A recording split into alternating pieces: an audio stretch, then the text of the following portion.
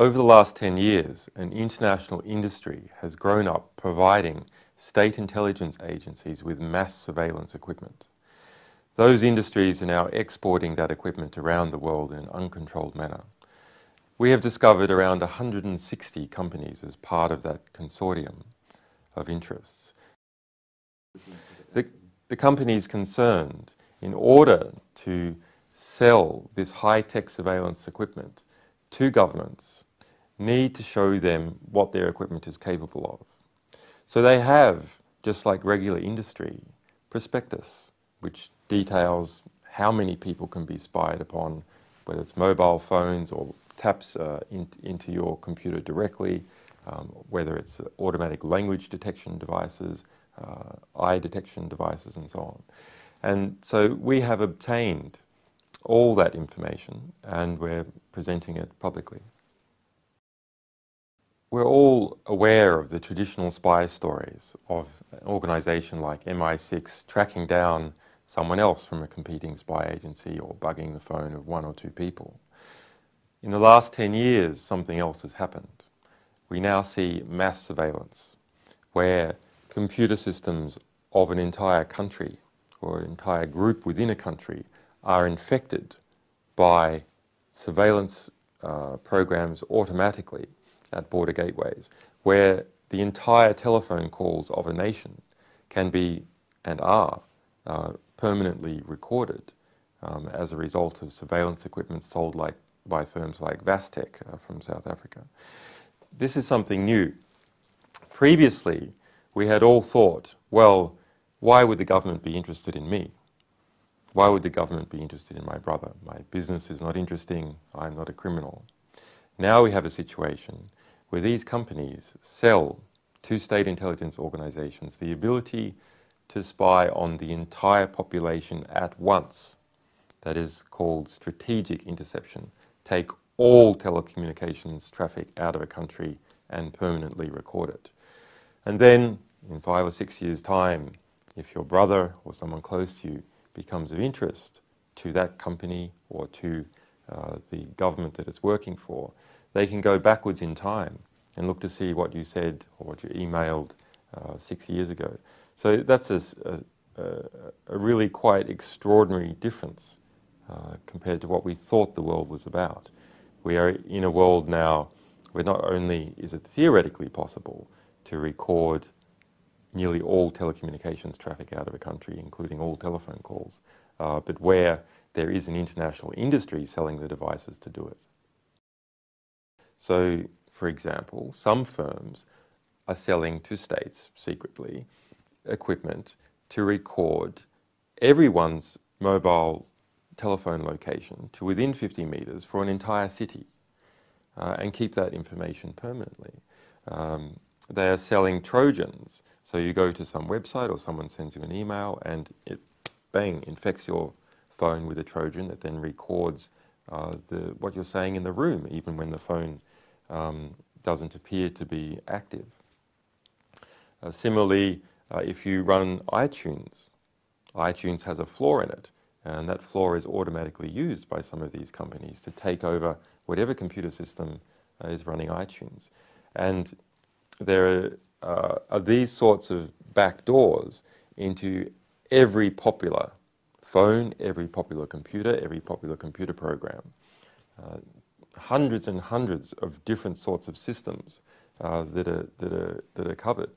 So if, if journalists come to me for advice and they say, what can I use uh, to stop myself being permanently recorded in secret archives, um, my answer is actually it's extremely difficult. It is not easy to do because cyberspace is primarily a civilian space where we put the intimate details of our lives. Um, we now have a militarization of civilian life. So this is sort of the equivalent of having, you know, a tank in your lounge room, because what you do in your lounge room with your telephone, uh, updating your Facebook page or speaking to your friends, is being monitored by very sophisticated national security equipment for everyone, even if they are just a civilian. So every civilian is now a target of military intelligence activity. Everyone. WikiLeaks and its people have been the subject of surveillance for years. Um, some of that information has come out as a result of legal processes in the United States, but that should be of no surprise to anyone. Of course, WikiLeaks is surveilled. What is new here is that everyone else is surveilled as well. You know, when we first uh, spoke about some of these findings um, of bulk whole country surveillance, uh, it seemed as if that was saying that aliens had landed. You know, that, that all telephone calls um, from particular countries are permanently recorded. That seems like something that's fa fanciful. But actually, computer power has increased now to the degree that that is only not done, but there are commercial firms that do that en masse and go around the world trying to sell their products. As a result of this release, I hope that everyone understands how they are all being spied upon. Not that this is some theoretical threat that perhaps might happen to one person one day, but actually is happening to everyone right now.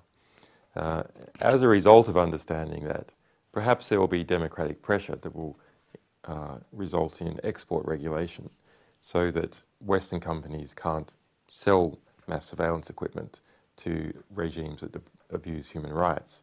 But it's more than just about good Western countries exporting to bad developing world countries. It's a lot more than that. Western companies are also selling to Western intelligence agencies who operate in secret and therefore operate corruptly. Uh, so it is necessary not just to rely on the government to increase its own regulation and increase the regulation of those companies that are close to the government. Rather, as individuals, uh, we must adopt various forms of encryption technology and privacy protecting technology and understand what the various privacy risks are uh, for us. And if we do not do that, um, Western democracy runs the risk uh, that we'll end up in an Orwellian uh, totalitarian surveillance state. Now, that, of course, it sounds bombastic every time you mention the word totalitarian, but that's literally what the surveillance situation we are in. It is total surveillance. As we move our lives onto the internet, we move our communications with our relatives, uh, with our workplace, we store our diaries on the internet, our telephone calls uh, are monitored at border gateways and so on.